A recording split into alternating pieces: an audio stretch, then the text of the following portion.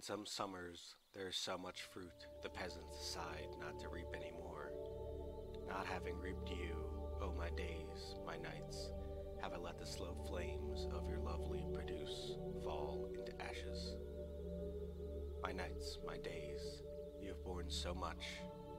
All your branches have retained the gesture of that long labor you are rising from. My days, my nights, oh my rustic friends. I look for what was good for you.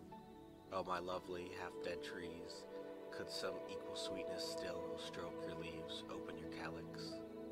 Ah, no more fruit, but one last time bloom, in fruitless blossoming, without planning, without reckoning, as useless as the powers of